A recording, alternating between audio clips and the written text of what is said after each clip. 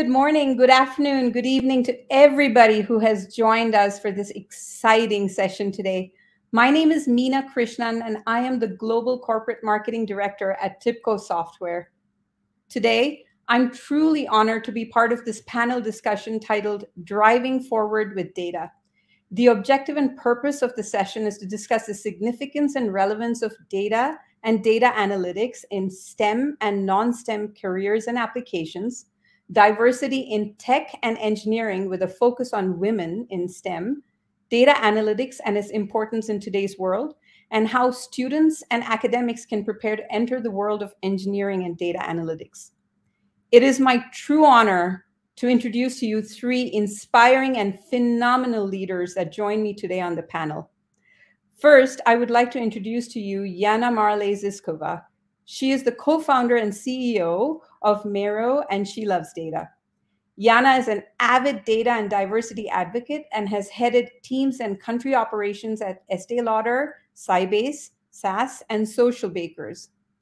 In 2015, she left the corporate career to start a data consultancy, soon followed by a Singapore based customer data platform tech startup, Meiro, where she is the CEO.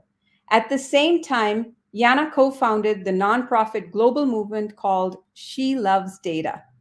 Since 2016, and this number is mind boggling, 14,000 women have attended 170 plus free data and tech workshops, certification programs, and webinars through She Loves Data, which has chapters in 17 countries on five continents.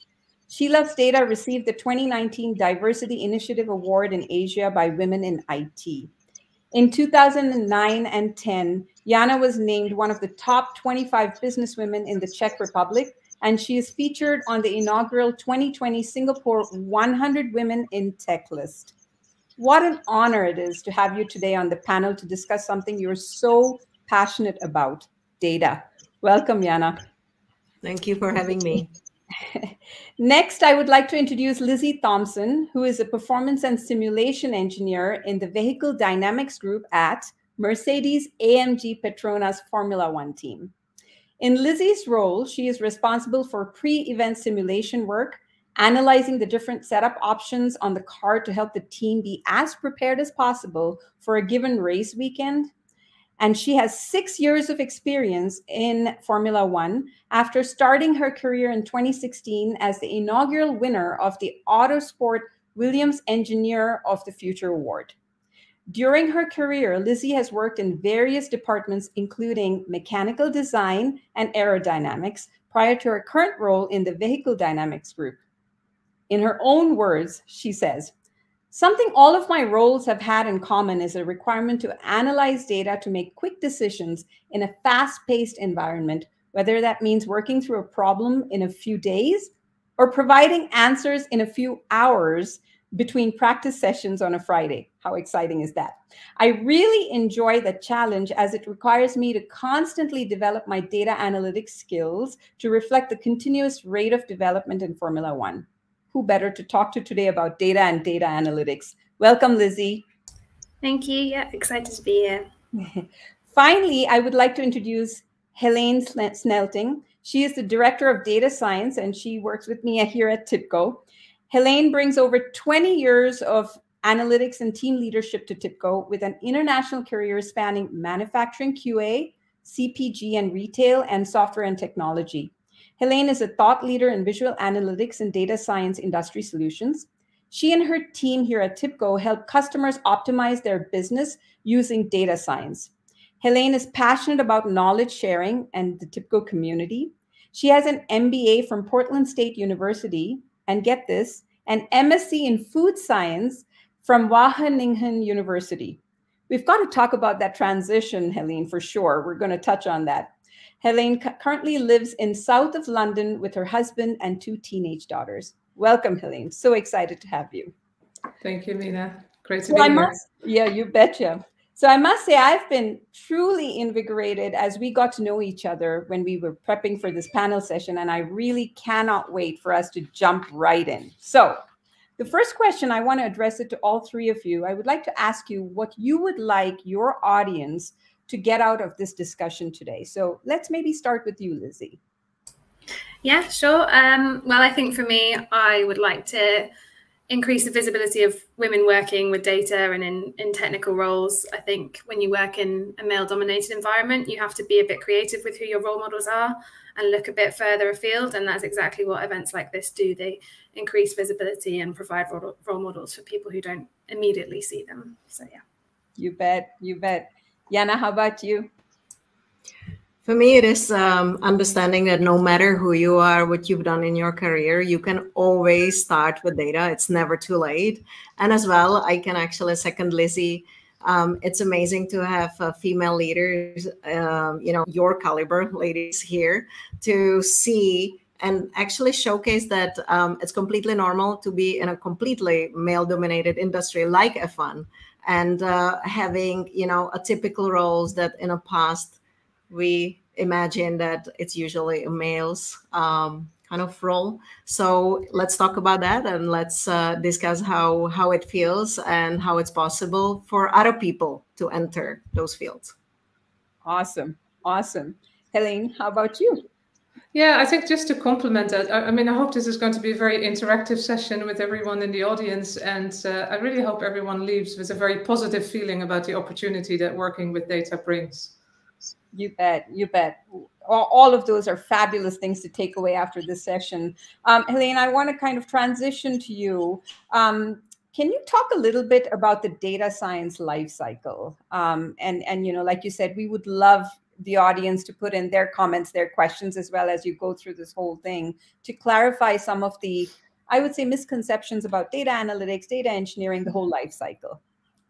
Yeah, I think I think part of it is just learning what you know th- about the terminology uh, in data, and um, I will uh, you know take a look at this from a data science perspective. Um, you know, the good thing is um, when you think about roles in data, the, the the market is booming, so there are lots of opportunities for everyone, but the roles can be quite different. So uh, hopefully, in this uh, panel, we we give a little bit of an explanation of what all these different aspects are.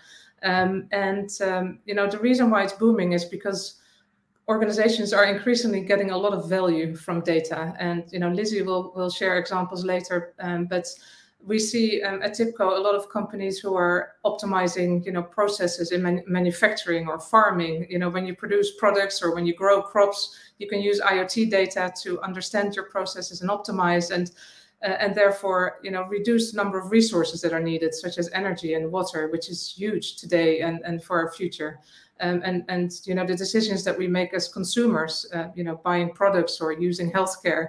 Um, you know, you leave a, a, data footprint that can then be used to improve the services that you consume and uh, and the way that you get treated by these uh, retailers and, and service providers. Um, but that doesn't happen just with the press of a button. There's quite a bit of work involved in building these AI applications that make that happen.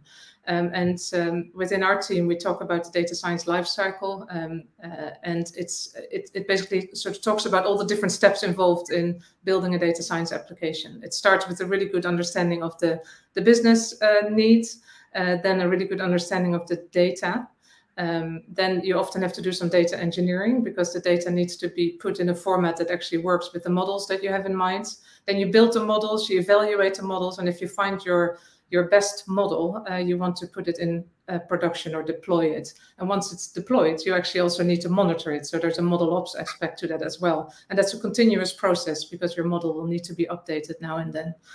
Um, and um, the roles that you will see in job descriptions are business analyst, uh, data engineer, data scientist who are more focused on, on the statistical aspects of, of data science.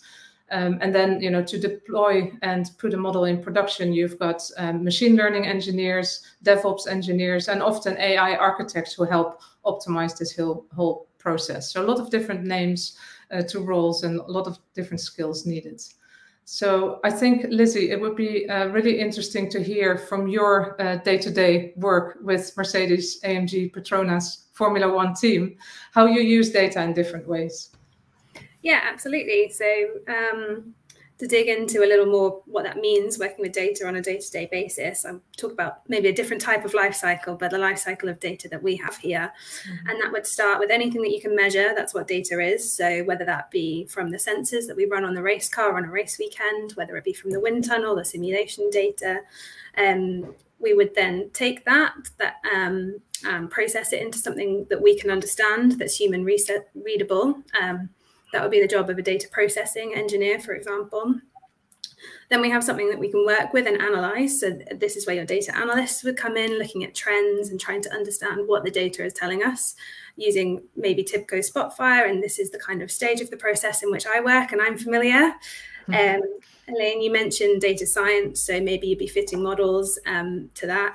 Um, in order to better understand what the data can tell you. And then the end game of that is to make decisions, right? So for us, that's all about adding performance to the race car, making it go quicker.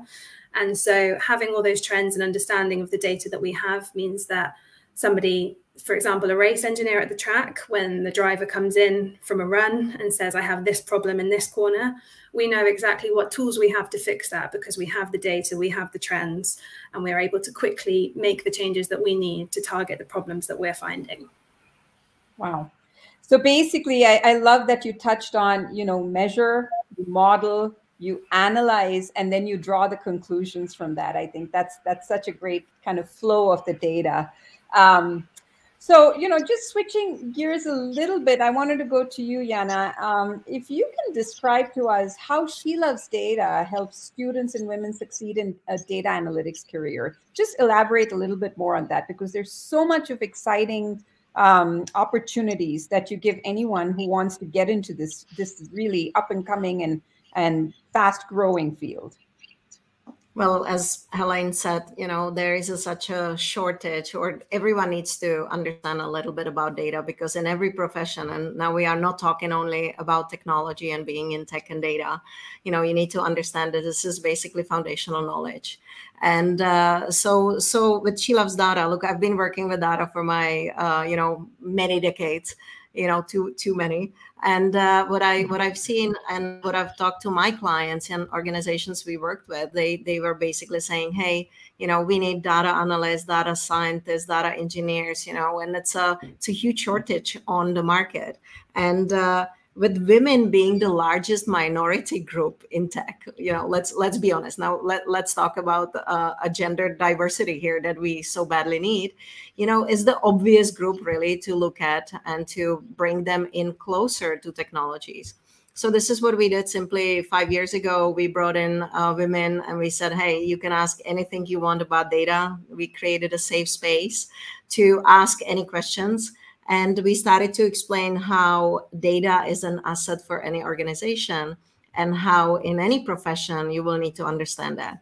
And hoping that we will in this process explaining you know what data and tech is in this you know fast moving world technology world and digital world um, is that we convert some people and they will have um, interest in entering into the roles of uh, aspiring data analysts and data engineers and this is five years ago or more than five years ago. Today, as you said, we have a community about 18,000 people around the world. And what is fantastic, I think, is that we do not only focus on the competence gap that we, you know, try to address, but we as well focus on the confidence gap. This morning, I read that 75% of female executives are suffering with an imposter syndrome so wow. confidence is as well important, right? When you change journey or you you change industry and job. So that's uh, leads us to the third gap that we address, and it's a leadership gap because we need more women in any kind of organization. And usually, the digital and tech skills are the blockers for them to progress in their careers. So that's what we focus on. Wow, that's awesome, and I think we need more and more of that. Um, so you're saying you, you provide the hard skills, but you also provide those soft skills that are needed to get into this field and succeed. Exactly. And and the soft skills are now becoming essential skills because you need to have those skills like, you know, curiosity and, um, you know, ability to learn, about being agile and flexible. So this is becoming very, very important. Yeah, absolutely. I mean, when I started my career again a few decades ago, um, it was all self-taught, right? You know, um, yeah. initially the confidence was not there. You get in, you have the imposter syndrome. Why am I being so successful i haven't really done that much you know? Um, and then you have to tell yourself you know no i'm going to go there i'm going to be confident. So providing these tools now i think is going to really jumpstart many uh, women who want to get into this field and and succeed. So so fabulous work there. Uh, before we kind of move on to the next question which i had for lizzie i wanted to address one of the questions that came through the chat. Um, this is from Bharat.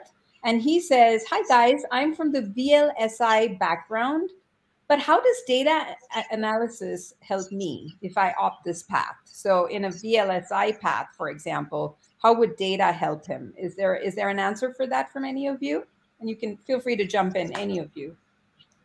I don't know what a VLSI path is. Maybe um, Bharat can add that to the. Yeah, to does, does do Something know? to do with semiconductors, if I'm not mistaken. Bharat, please go ahead ah. and that uh, in in your um, in your so, chat, and then we can pick it up from there. But let's let's assume it's something in in semiconductors.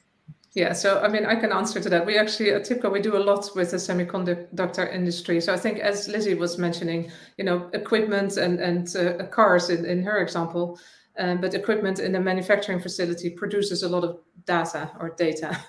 and so being able to analyze that data and optimize the manufacturing process, whether it's about, you know, detecting faults early in the production process to, to reduce, you know, rework and reduce waste, um, or improve certain steps in the production process, looking at quality. I mean, there's lots that you can do. And um, I think the, the semiconductor industry is, is, is quite far ahead in terms of producing data to uh, allow this to happen. So it's very interesting space to watch.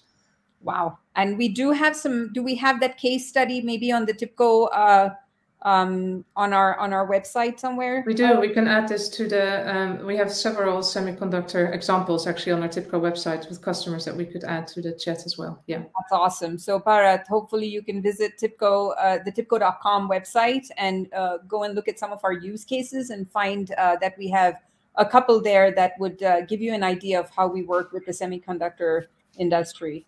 Um, yeah. So can um, I add one comment, Meena, on that one? Um, because I think we're also posting a, a, link to the analytics forum where a number of our semiconductor customers will be uh, likely speaking. Uh, they always speak every year in that conference, so um, uh, that's a free conference to join as well. So. Um, that will be a good way to find out uh, about these real life stories as well. That's awesome. And I think that event is going to take place between June 13th and 15th. So feel free to join that event to learn more about many of the use cases uh, uh, for our um, analytics um, technology. Um, Lizzie, I'm going to move to you next. Um, can you describe your career in engineering since your graduation? How things have improved from a diversity perspective since you joined uh, the team, for example, or you know, what are the changes you've seen and how your career has kind of progressed since your graduation? Yeah, absolutely. Um, well, you touched on how I started my career in your very flattering introduction, but um, I started on a graduate scheme, which was an award scheme. So it was a competition with several rounds, and the final one was a round of five finalists, um, all four of which, apart from me, were male. Um, so I immediately knew what I was in for in the industry. um, but I think actually in that case, I was so um, kind of what's the word? I didn't I didn't believe I had a hope, and actually, the in that case it really played to my advantage because I think I felt so much more relaxed. Um, and it helped my performance. I think I performed better on the day because I just had no pressure on myself. So there was definitely a lesson to be learned from that in itself. But um, yeah, I then started on a graduate scheme. I did two years moving around the different engineering departments um, in a Formula One team before deciding that I enjoyed working with data. Um, and I worked in aerodynamic performance for several years before starting my current role in vehicle dynamics. Um, so yeah, a range of different roles, and I think we are seeing change. Um, we're seeing a lot more women join at the graduate graduate levels in technical roles. Um, we're also seeing, you know, more and more companies pushing for diversity and realizing how important it is to have a diverse workforce and the performance that that can bring as well. Um, Mercedes AMG um, Petronas for example, the team has a um, initiative called Accelerate 25, um, in which they are committing to um, 25% of their new hires from being from underrepresented backgrounds and actually in the latest figures they're beating those targets. So we are seeing more and more women and underrepresented groups enter enter the workforce. Um, but i think the next challenge will be propagating those changes up to the leadership levels. As yanni you were saying um, seeing more women in management and you know identifying what the barriers are still standing to that and trying to bring those down and propagate those changes upwards that's awesome. Um, you know, here at TIBCO, we also have an OKR to kind of um, increase the the women that we are hiring in our company, and we have also beaten the target of forty percent uh, women hiring uh, at TIBCO. So I think we're all moving in the right direction, and we have to keep going in that direction. So fabulous, fabulous. Um, just keeping in that uh, kind of uh, you know thread. Uh, Jana, I wanted to come to you next uh, to reflect a little bit on Women's History Month that just happened in March. Um, lots of events, lots of exciting panels and talks. I know here at TIBCO, um, Heleen, you and I attended some really exciting talks as well, and panels and discussions. I just wanted you to reflect on it. Um, you know, look, look, a little bit uh, into breaking the bias, allyship, Can you comment on it and just let us know what your thoughts are on that and what you your experience during Women's History Month was? So look, um, I usually I'm usually starting any kind of discussion in the months of March that we cannot focus only on those topics throughout March. We have to do it the whole year round, and I think this is important. But uh, what I've heard this year and what was really interesting were the discussion that we need to stop fixing women and we should be fixing the structures and the procedures and we should be basically fixing the environment that is stopping women. And i really like that because you know as you mentioned you know um, focus on allies and mentors, focus on changing procedures in the organization so that there is a pipeline of women. So we cannot only hire them and change hiring processes, but we need to as well ensure that we have a processes throughout the organization to feed up to the leadership positions. And it's very, very important. What as well was uh, great were discussion about that we women we don't need to be superheroes. We don't need to have several different multi multitasking positions you know at home at work that it's okay to kind of stop and say hey enough is enough. I need to take a break. And i think that's great that you know a lot of discussions on these topics that we try to be so perfect and we don't need to in any occasions. But i think those structural changes that um, we often uh, heard about it's actually coming into core of all of us us as individuals. We need to start with us and we need to kind of identify what are our biases and what are i give you an example. Uh, years ago i had a team of data scientists 30 men. We hired one woman. A client calls me and says i want to have this girl on my team and i pay double the you know mandate rate for her. And i reacted are you kidding me? Like this is so bad what you just do. Like it's like it's because i had all the different reasons you know for him to asking me for getting her on his team then the right one. And the, and he was like what do you mean? Like she's bringing in so many different hypotheses. She's bringing in so many different questions and solutioning with her is so different than with the 10 other guys that are sitting on the table. So it's coming back what lizzie said you know we need diversity because it brings better results. And i think this is now seen in our organizations and we see hopefully some changes you know coming through wow. Wow that's fabulous. Do you have any comments on allyship at all? You know i think that's a very important factor as well right as we move forward in this direction. Look i think um, and um, I think we can't do it on our own. We talk about women, uh, and it cannot be just women. So we will not solve it in our half of the population. We need to have, and it starts always with the allies. It starts with people that are stepping up, and then they are basically uh, initiating the changes. It's starting with uh, progressive um, leaders, male leaders, female leaders, allyship doesn't need to be, you know, opposite gender because often in the discussions, what I've heard was that DLI for women is this, you know a hero. It's the guy it's the manager who got it and stepped out you know uh, out of the comfort zone. Um, and i think it's not like that. It should be anyone can be ally and um, those are the people who are basically helping with the structure, structural changes and we need them and we need to lift them up we need to follow them. And um, yeah hopefully i mean not hopefully I, I think we are seeing a lot of changes already.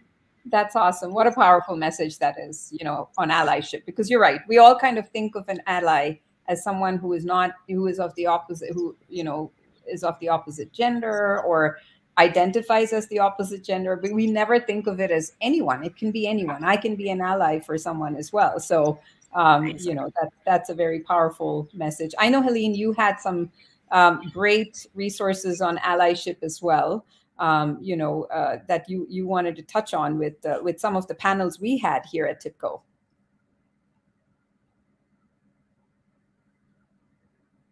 sorry you're on mute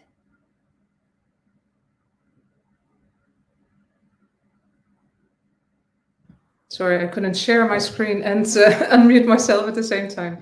So let me also um, share a screen because we had a really great session at um, uh, actually the Women's History Month last month, and um, it was um, with a, a, special speaker or guest speaker, Gabriela Schuster, um, and she is um, uh, she, she, is a you know a veteran. She's a C-level executive at Microsoft, and she's has you know 30 years of leadership experience, and she is a, a, great advocate for women. And she created this um, this framework that is um, hashtag allies, A L L I E S, uh, easy, easy, to remember. Um, and she basically taught us at TIBCO a lot of um, uh, types of behavior that you can learn and exhibit or demonstrate um, as an ally. And we've spent a whole hour talking about this, so it, it very much is in line with what Jana was just saying. Um, and I think it's, you know, it can be men and women, um, and it, it, doesn't matter what, um, you know, minority you're talking about. This applies to gender diversity, um, you know, ethnic diversity, neurodiversity. I think finding out, you know, who you need to support and being an ally for them uh, is, is very useful. Um, and basically, you're giving space to the people that need more space in your organization and recognizing when that is needed. And I think that awareness is, is really, really important. So, allies stands for advocate, listen, lift, include, elevate, and sponsor.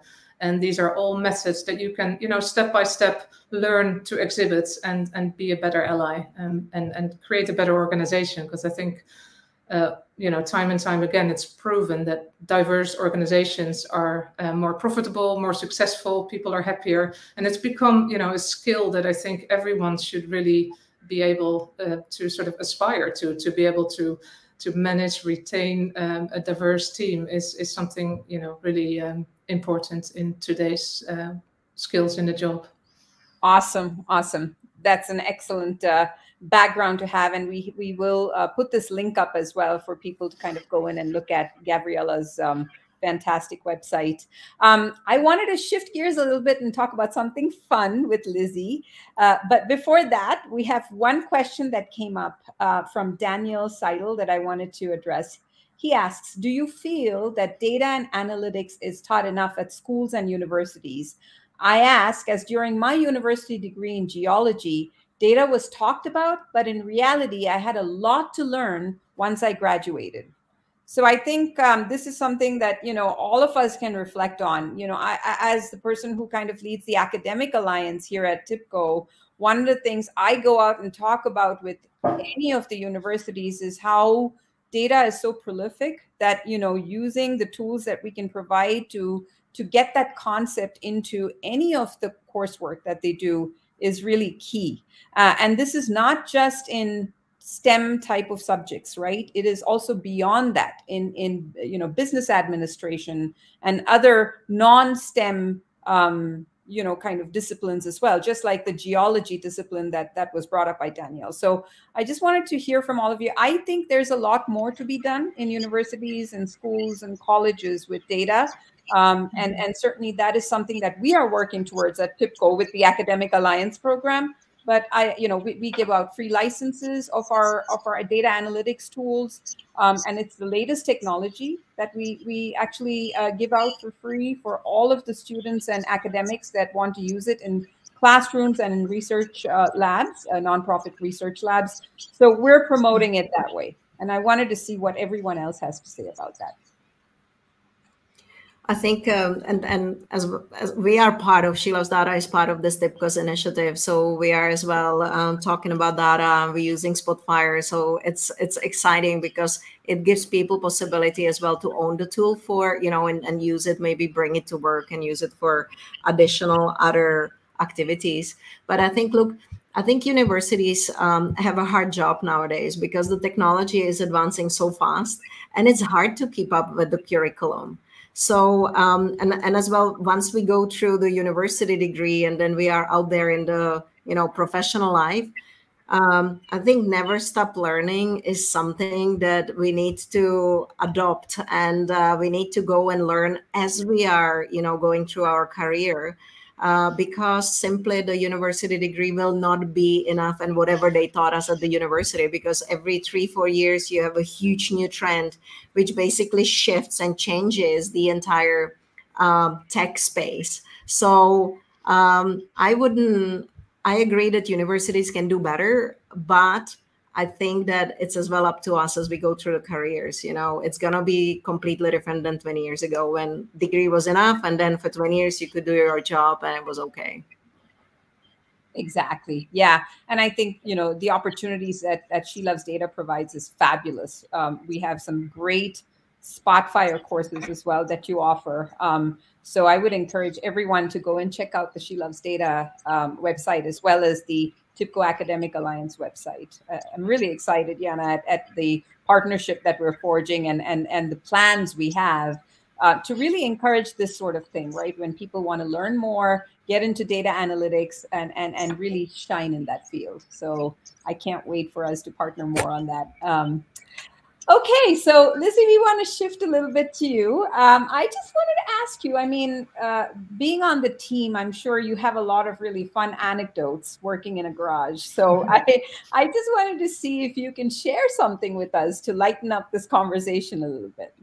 Yeah, yeah, absolutely. I mean, I should say that uh, not not everybody who works in Formula One gets to go to the racetrack and see everything. You know, there are so many important important people working at the factory and behind the scenes. So, if you meet someone who's working in motorsport, don't immediately assume that they they work in a garage. But as Meena knows, I have had the opportunity to do that in in my career, um, and I think so. Often, if people are thinking about data, you'd be thinking about numbers and spreadsheets and graphs. Then it doesn't always come in those forms. Um, something that uh, a lot of Formula One teams do is um, something called flow visualization paint. Um, so we get a lot of data from wind tunnel and simulations um, that would help you visualize the aerodynamic flow over over a race car, and you can actually measure that on track as well um, by applying paint to the car. Um, I'm sure any Formula One fans watching will have seen this during test sessions and practice sessions. Um, cars covered in colourful paint, and if you've ever wondered what it's about, um, it is wet when it leaves the garage, but it dries on track, and it shows you the streamlines of the flow over the car. Um, I've had the job of actually applying this paint in the in the past, and let me tell you, it is one of the most intimidating and exhilarating experiences because everybody's working on the car. There's a huge team of mechanics, and everybody is so professional and efficient in what they do, and they're working to an you know uh, to the minute clock of when the car is due to leave the garage. And you need this paint to be wet when it leaves and dry on the track, not dry in the garage, not dry before. um, so you basically have to fight your way to the front in front of all these mechanics at the right time um, spray the car, make sure you cover it really well um, so that you get the data that you need. Um, and doing this is absolutely terrifying. Um, and I remember thinking, you know, this is so scary. I've never seen another woman doing this. Um, there are more and more women in the garages these days and uh, on the TV coverage, but I hadn't seen it at the time.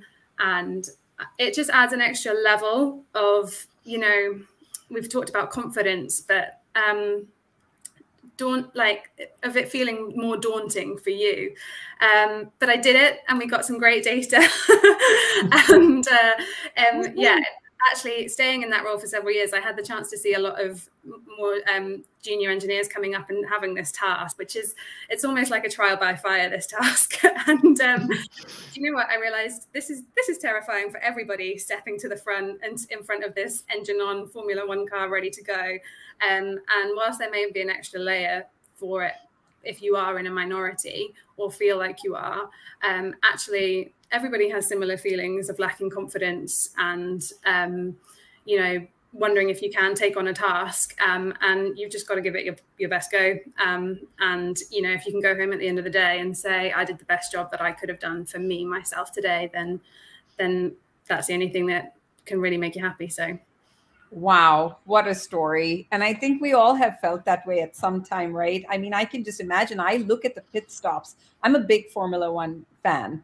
So I watch the races, you know, every weekend from practice session on to race day. And I can see, you know, the pit stops and everyone getting there. And you're done with, you know, 2.4 seconds. You're done with changing the tires. I tried my hand at it when I was at Austin F1. I I was there for like a minute and still couldn't. one lug nut off. So, you know, I know how intimidating it is when everyone's so professional doing yeah. everything at such speed and you have to jump up in front and do what you have to at just the right moment for the paint yeah. to just the right, you know, wetness, dryness, whatever to get out there. So, wow, kudos. And I think that's a big lesson for everyone to take away and be confident, step up and be confident. Tell yourself, if you do your best, that's all that matters. I am all of five foot, two and a half, three inches. And I remember many times at the beginning of my career having to stand in front of three, 400 people to talk when I, you know, I'm surrounded by these confident people who are way mm-hmm. bigger than me, both in stature as well as knowledge. And you have to go up in front and talk and and shine. So I can understand that feeling. That's that's fabulous. Thank you for sharing that anecdote with us. Um, so, Heleen, I wanted to touch on that one thing that I was talking about when I introduced you. You had such a big transition in, in career. You know, you you went from food science to MBA to data. Um, you know, I just I, I wanted you to talk a little bit about that. You know, I was reading the Harvard Business Review, and I, you know, the, you know, one of the things they said was the first tactic is to make any boundaries be- between business and data scientists highly porous, because that's a big connection, right? If you can connect data to business, mm-hmm. That's very yeah. powerful. So, you know, with you, you have that whole kind of transition, food science, and then you went to business, and then data. So I think we have something very powerful here. You know, taking your knowledge and using it. So, um, can you tell us a little bit about that and how you pivoted and transitioned into this role? Yeah, sure. So I think in my career, I've had you know different motivations to to to move to next roles, and uh, sort of having an international career was part of that as well.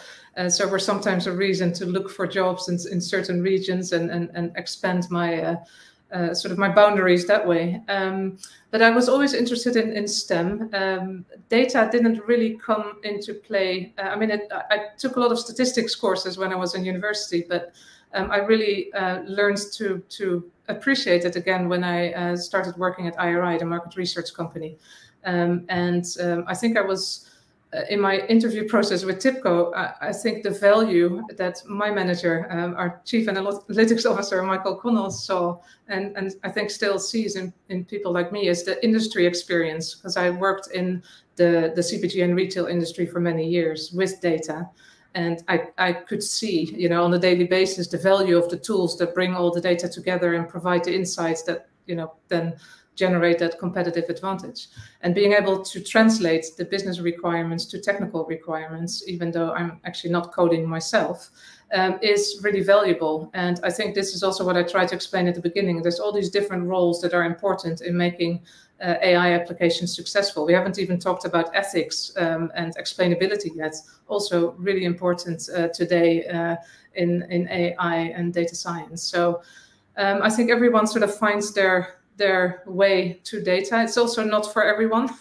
I think that's also true, but you have to try it out. And um, uh, yeah, I, I, think Jana actually uh, started saying, you know, there's no wrong time to start working in data. And for me, it, it came with my second job um, because I, I, missed it. I missed a sort of uh, intellectual uh, challenge. But um, yeah, you can come to data in different ways, I think.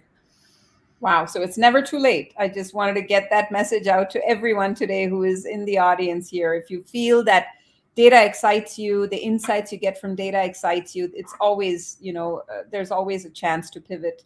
Um, so um, with that, I wanted to, to go to you, Jana. Um, some people are actually confused with the direction that they have to take with their careers in you know and they they're you know at this point where they're wondering right?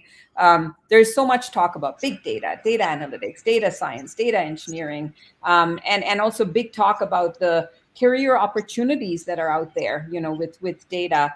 Um, so uh, you know is is pivoting and changing your career something that's good? You've already touched on it a little bit uh, but can you give us a little bit more advice uh, as to how that can be done? Um, you know, uh, anything for anyone who's listening out there who wants to do this now?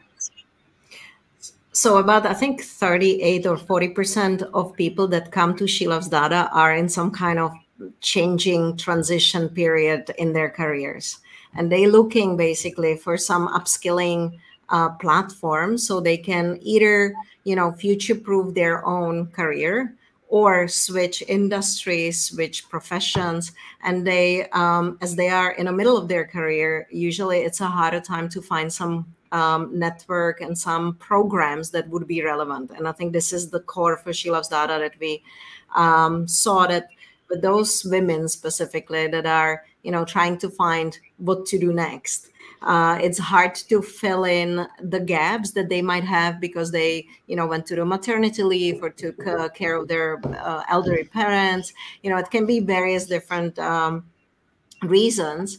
And uh, what we saw is that there is a need for this foundational knowledge in data and tech no matter actually what you do because the future of work is uh, driving everyone uh, into a position where you need to understand some basic understanding of you know what is data and how you can benefit in your role and, and help the organization be better.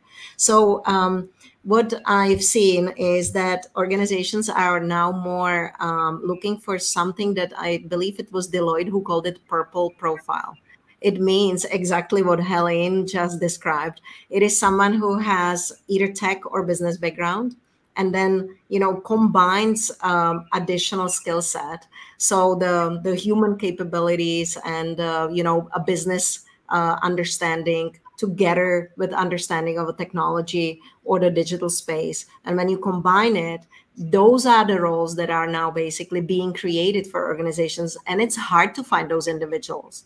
So what i feel that pivoting now is actually bringing a huge opportunities because as we are moving through the fourth uh, technical revolution so fast you don't need to have any more 10 years of experience in one particular field or one particular domain uh, subject.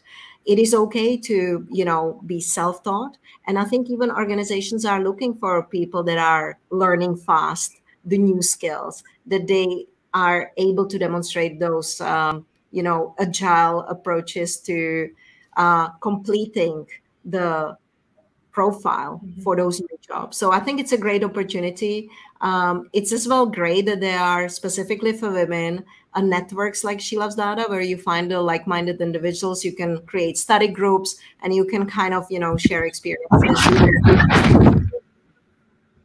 Wow, that's awesome. That's awesome. Yeah, I know it's um, it's tough because I was reading in an article that a good data analyst um, not only needs to have the hard skills that you mentioned but also the soft skills that you mentioned right? Be a good you know be good at communication be an empathetic listener because unless and until you listen carefully as to what exactly what trends people are looking for. You don't know what type of data you have to pick up and analyze you know be context focused because you need the context as to what you're going to do with that data.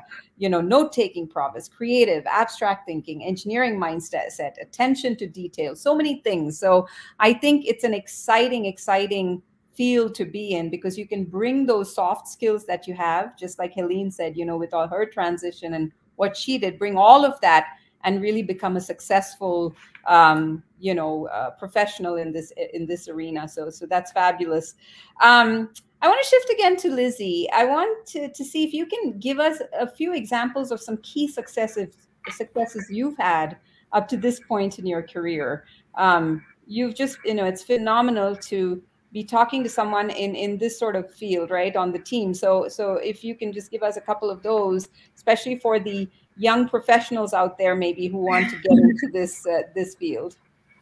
Yeah, absolutely. I think one one thing I've I've definitely learned um, is that in Formula One, no no success is individual whatsoever. Um, all successes are are down to the team itself. Um, uh, it, it, may sound corny, but it is it is true. You don't win races and championships unless you're working as a team. So, um, I speaking of changes in careers as well, I changed role to my current role. It's it was quite um, a big change for me, doing something very new to me. Um, and the first um, event which I worked for um, for for the team was Brazil last year. Um, it was the first time I made a real contribution to the team in my new role, and um, Lewis Hamilton won that race in one of the most epic drives in Formula One history. And it was just amazing that feeling to have contributed my bit to that weekend and to have seen it. it was for anyone who hasn't watched that weekend, go back and watch it. It was an outstanding um, outstanding race the whole weekend in fact and just to have been part of that and to feel that success and and feel the success of the people around you as well um, was a real proud moment for me um, definitely felt like a big achievement um, in my career so um, despite the fact that you know i was only a small part of it that that still still felt absolutely amazing so well, you're just being humble. That's that's fabulous. achievement. I mean, I, I, wanted to just quickly share one thing because uh, Lizzie has mentioned two things that you know that that you know she's really proud of and um, maybe first scared of and went out of her comfort zone. And I think we talked about the self confidence, and I think what we've learned in the uh, you know in this in, in our skills of dealing with that over time that those are the moments that you need to remember when you're nervous so, you know, have those in mind when you do something that is, you know, scary for the first time. And remember that the times that you actually did that, went out of your comfort zone and was successful, it will give you the right energy. And, and, um, and this is, you know, this is proven in your, your biochemistry as well, that that really sets you up for your next success as well. Isn't that awesome? Absolutely. Absolutely, Heleen um, you know, uh, moving on, I just wanted to also, uh, Heleen, talk to you a little bit about how important diversity is in tech and engineering and the data industry, and what positive actions can you take, um, you know, towards this. Okay, yeah, I think, I mean, we've talked about, um, uh, actually, Anna mentioned quite a few of those. So allyship, really important. Um, uh, um, you know, ERGs, employee resource groups, well supported, both for the minorities as well as the allies. Um, I think for diversity, uh, recruitment is is really important. So making some changes in in ensuring that you have a diverse um, uh, candidate pool, but also a diverse uh, selection committee or or you know interview uh, team. Um, and continuous training for all employees everywhere. Um, you mentioned that at TIBCO we've we've um, you know we were now at 40% female hired. Yes. Um, this is this has increased uh, the percentage of women at TIBCO from 27% to 32. Uh, but not only that, also the number of women uh, or female uh, employees that have been promoted um, has increased from 16% uh, um, in the three-year period uh, three years ago to 40% in the last three years. So you know, changes like that make a significant difference in the positions that minorities can get uh, in an industry uh, or in an organization and uh, are, are very positive. Wow. Awesome. Yeah, I completely agree with you. And I'm so proud that we hit that OKR and, and, and, you know, really kind of went beyond it. Right. So, so the 40% um, goal was fabulous to, to reach it and, and go beyond it. Um, Jana, I just want to get your comments as well. How do you think the industry has changed when it comes to equality for women since you started your career? Again, some positive examples of that. I know you've touched on many of it, but wanted to kind of close out with that a little bit. Um, I think it's an amazing change. Uh, 20 years ago, uh, when I was the only female in the room, you know, working for enterprise software company, and people asked me whether I brought tea or coffee, it's, it's not happening anymore, you know. And uh, but what I think is great, and in a in a good way, in terms of the pandemic, what came out is that we can bring the whole person to work now.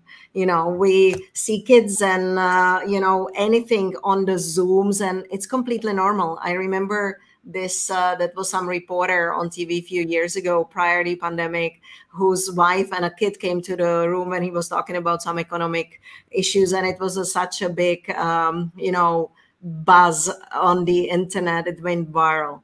And today it's you know we can be who we are. And i think this is great because it supports women because we are talking about what women need to be successful at work. And i think those structural changes as Heleen uh, mentioned are you know starting from even not only changing the procedure in hiring but changing the way how we hire. We ask different questions to make sure that the candidate pool is measured equally. And I think there are many organizations who are now being certified for equality in terms of equal pay, equal opportunities, and as well balancing, you know, the leadership and, you know, not only gender, but all the types of diversity like age and culture and background within their organization. And I think it's great. So I, I applaud to that. I know that the moment we do not need to celebrate the Women's History Month is when we won because it's going to be all perfect. We don't need to lift up anyone because everyone is equal. So, this is what we are driving forward to, I think what a powerful thought. I completely agree. Completely agree. All right. So I want to kind of, uh, um, you know, go move to the end of. Unfortunately, I mean, there's so much more to talk about, but uh, we. I wanted to kind of leave this this session with with some thoughts, right, as to what uh, all of you know. What do you want the audience to take away? Before that, a quick comment. I love that rose chart behind. Is that the She Loves Data uh, logo? Is that a rose chart? Yes, it is. We got an inspiration from uh, Florence Nightingale, and uh, you know that's that's one of our actually leaders who said like, "Hey, let's do this," and then we adopted it, and it's very uh, loved, uh, you know, logo. Oh wow, well, it, is, yes. it is awesome. I love it, love it. I just wanted to say that rose chart. Go and check it out, everybody. See what that is. Um, so yes, yeah, so we put in some of the some of the I, I, would say, you know, takeaways from this discussion that we wanted everyone to leave with. So I wanted to go through this. Um, uh, let's start with with uh, with you, Lizzie. What's your takeaway for, that you want people to kind of go with, you know, as they as they um, as we end this session? Yeah, sure. Well, we've talked a lot about confidence, and I think you know lacking confidence comes mostly from comparing yourself to people around you. Um, so my biggest bit of advice would be don't do that. um, be your own benchmark. I, I, mentioned it earlier, but you know you're the only person who can measure how well you performed on any any given day. Um, so st stop looking around and comparing yourself to others, and just try and make yourself proud. Awesome, love it, love it. Jana, how about you? Um, I think that um, I would like to everyone think about their differences and turn them into advantages because we need to be different because that's actually what is needed out there. We can't be all uniformed. So so change the way how you think about it because if you add on being curious, if you add on, you know, kind of um, raise your hand when there is new opportunity. Those new opportunities usually uh, lead to some exciting career changes in a professional life and you know a great new uh, advancement and growth. And uh, i as well want to say that um, you know we we talk a lot about fail culture but i think um, it's okay to fail to learn from that and just move on and do something else like be a little bit more experimental I think especially we women, we beat ourselves up that we are we have to be perfect and it's horrible to fail. But it's okay. It's just another lesson in life, and we will fail many times, and that's just fine. So learn from that, move on, and then enjoy. You know what's next. How awesome is that? Absolutely. Fail fast, learn, and then keep moving. Agreed. Um, Heleen, let's move to you. Yeah, so I think one uh, maybe a little bit in, in line with my comments first was uh, or earlier was uh, to say yes if you get opportunities, especially if you're looking for opportunities to work more more with data. If you think you know you, you might not be good enough for it yet, just give it a try. You know, say yes and just say intentional yes to the opportunities that you get. And then the other thing is something that you know I didn't start until later in my career. Um, I, I I don't know. I think sometimes we we forget that we can ask people to help us in our careers and, and some decisions and maybe some support that we need. So finding a mentor and finding a community outside of your work is really, really powerful. And, and it, it gives you that, you know, other insight and uh, different perspective uh, and support that you, um, that you, uh, you need uh, to enjoy your roles and to also see what else is out there. So those would be the things that awesome. I would like to share. Awesome, awesome. I added two of my own to your your list there, uh, Heleen. Uh, one is bending the bias. I loved this this term, and this was actually coined by one of my colleagues here at TIBCO during one of our panel discussions last month um, it's not just about breaking the bias, no matter what it is gender bias, diversity, whatever it is that we bring. Um, uh, but it's about bending it. So if all of us can take small actions towards bending this bias slowly, then one day it will break. And like Jana said, we won't need the Women's History Month anymore because it's all you know, e you know, equity and equality. So I think bending that bias and how how how do we do that by taking action? So I think all of us we we have to take action whether you want to do the pivot after today's discussion if you feel i want to i want to check out data data analytics take action um, or anything else in your life. So you know once you take action you bend the bias then we get towards that goal. So i think that's the thought that i want to leave this session with. I think this has been truly an inspiring discussion. Um, you did see the link there, www.tibco.com slash academic, if you want to go and check out our academic alliance for all of those um, students and academics out there. Um, please check that out. We have uh, low cost or free products there, so check that out. And um, I cannot wait um, to hear more about data and how data is is making a difference in everybody's careers, lives um, as we move into the future. Thank you so much to all of you for this fabulous discussion today. And um, I hope to talk to all of you again very soon uh, in, in these sort of discussions. All the best to everybody. Thank you. Thanks, everyone. Bye. Bye.